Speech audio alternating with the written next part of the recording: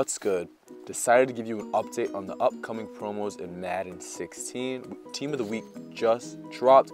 Here's actually the team offense we run and the defense we run with. In the video, we're going to be building basically the lineup and also showing the team of the week. Slightly disappointing. I mean, Tyler Lockett's at 91, but some of the cards aren't too bad. Very pricey as you expect. It took forever to drop. And some people have so many cards, like Geno Atkins has like 37 cards. I mean, Russell Wilson just got a card, so eh, it was all right. The team of the year is supposed to be one of the biggest market crashes of the year since there's quality players at each position. And once they're on the market, people get them in bundles. You'll see this. Your cards you just had are lower overall, so you should be able to get them at a lower price. I'm not sure if that's actually going to happen, but it means you can still snipe cards. Right now, we're just looking at cards by each position. First, looking at 90 to 94, looking at prices. This was before Team of the Year, so the prices aren't as accurate as they probably would be, but the same concept still applies. You're still looking for snipes, you can still flip these cards.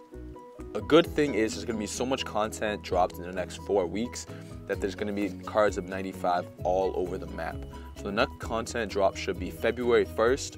Actually, next Monday, it's going to be the Super Bowl content. With this, there's going to be eight players from 97 to 99. Last year, there was Tracy Porter, they had Jimmy Harrison, Deion Branch, John Elway 99. So you're going to see the first glimpse of those really high elite cards. And there's also 20 Super Bowl players. There were 10 from each team. So these are a lot of the golds who hasn't got upgrades through the year, such as they had Patty Chung, Julian Edelman, Shane Vereen. Some of them were actually elites as well. So there's going to be a lot of content in uh, probably on Monday with the Panthers as well as the Broncos. And don't worry, my boy Cam is going to get the nicest card coming out since he's destroying the league, but not yet. In addition to all the new players for the Super Bowl release, there was 50 coin ups last year, which is absolutely unreal. With these, you can do gold moments where you got collectibles from packs and you put it to get a specific collectible. So some of these you could earn a ton of coins, some of them didn't run. But at the same time, they made the auction house a lot different because people were trying to trade and get all these coin ups so they can earn the specified number of coins. So watch out, there's going to be 50 coin ups for the Super Bowl. It's going to be a lot of fun. So that's definitely should be coming out next Monday. February 8th is the Tuesday after the Super Bowl, and it looks like they're going to be starting NFL honors. That's going to also bring us a lot of good cards. Last year they had Thomas Davis as well as a Gronk, Rob Gronkowski. These cards were 24 hours, and these cards were absolutely ridiculous. 98 and also a 98. Those cards were very hard to get, and there are two players in each position, so they release them two at a time, available in packs for 24 hours.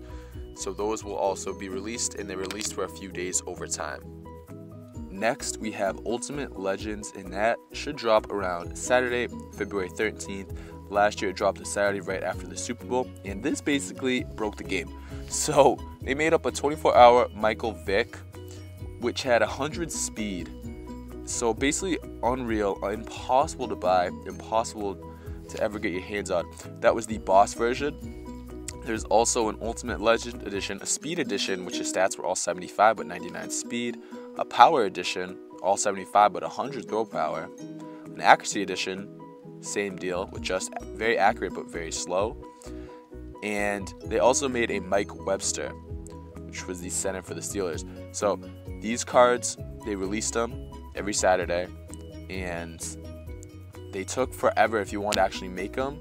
Kind of remind me of making Dion, man, but it, it's a lot of work to make them. So those came out the Saturday after the Super Bowl. Last year, the market crashed when this card came out, since everyone's trying to pull that Vick and they don't want any other type of card. So every elite they're getting in packs, they're putting on the auction block. So it's good to snipe during this time. This weekend, that weekend should be huge you can definitely find a lot of cards for cheat and flip them, flip them, flip them. The beginning of the all rookie team should start Sunday, February 14th, and these cards were very good. All going to be over 88s. Tre Mason had the highest one last year, which was a 93. Anthony Barr finally got a good card. And each week they released a few players on the all rookie team.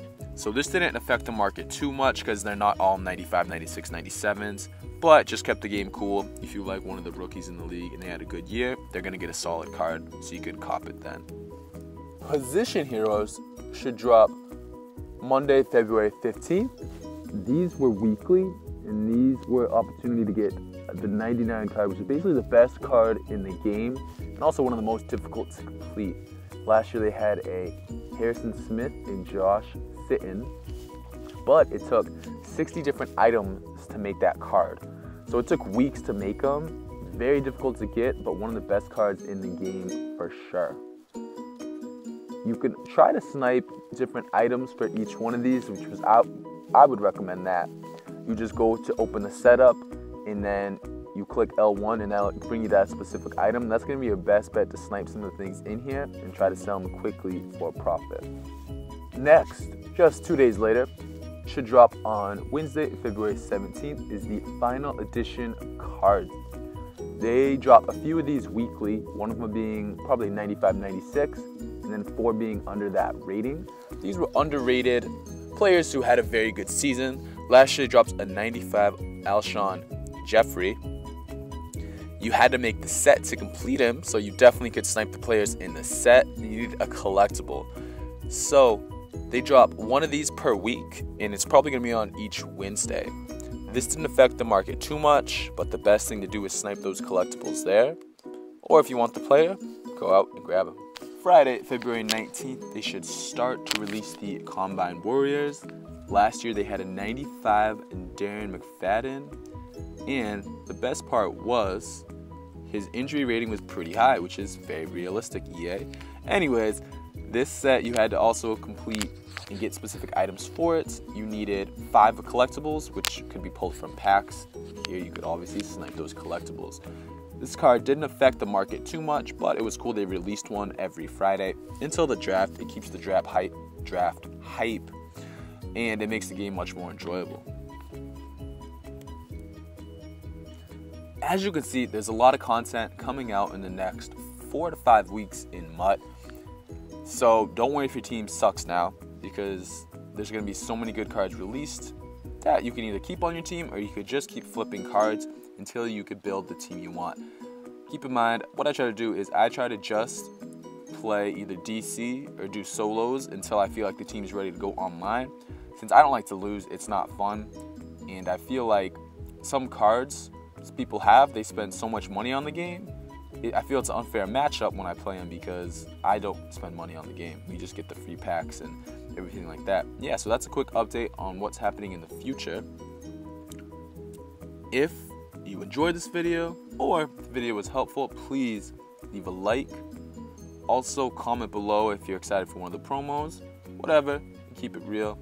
And once again, thank you for watching. See you in the next vid and have a good one.